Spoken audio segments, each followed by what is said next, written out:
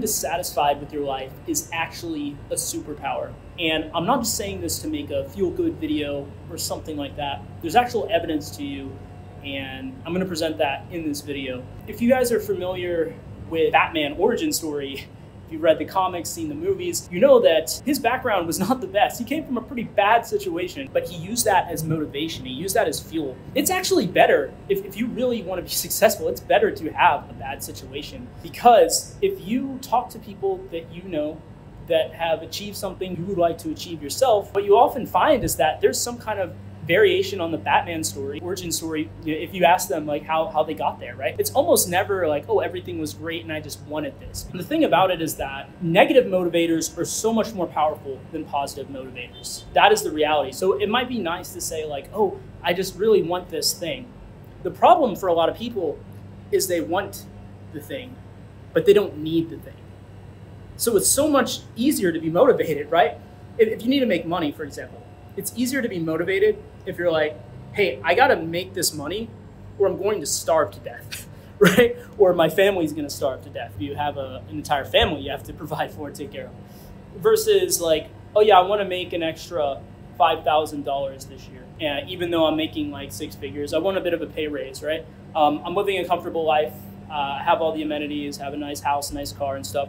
But I want to make more money. You know, for a lot of you guys that are learning cybersecurity, you might be in various backgrounds. So you might be in a background where your life's really good. You're working a job maybe at like a bank or something like that, and you're you're making okay money, and you're comfortably uncomfortable perhaps.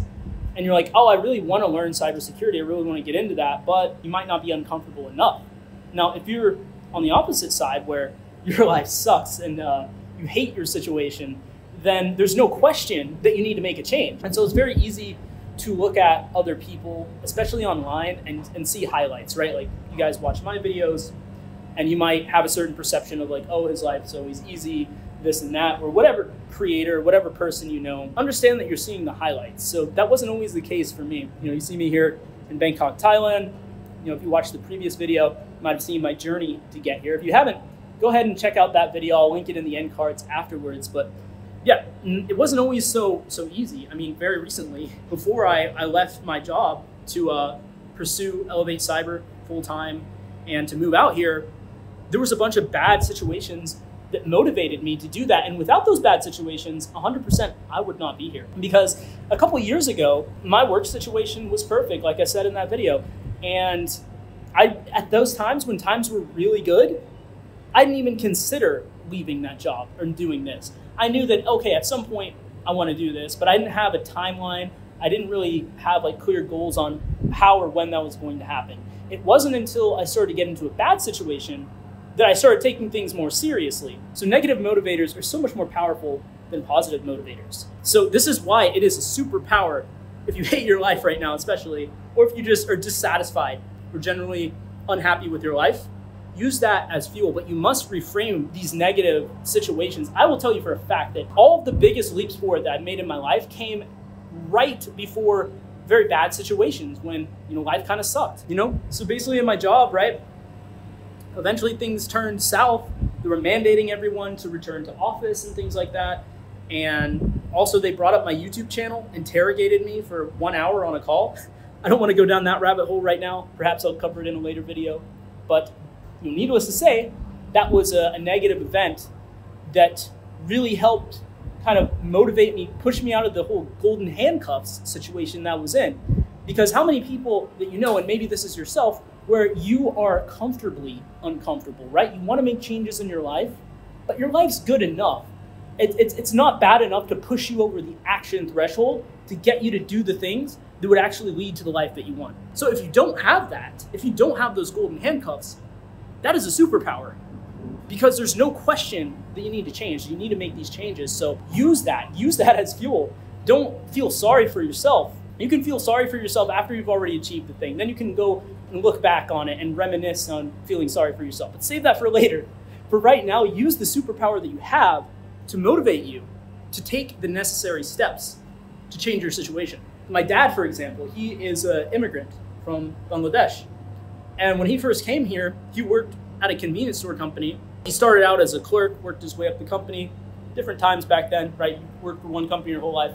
But when he was a sales clerk, he would, I think he said like five or six times, he had people come and draw a gun on him to rob the register, right?